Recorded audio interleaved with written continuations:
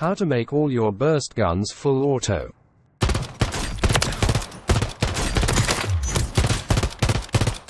Now you can make your burst fire guns fully automatic.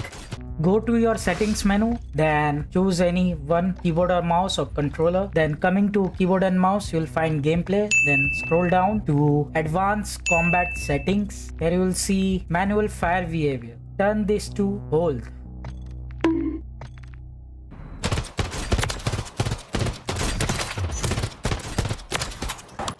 Subscribe for more.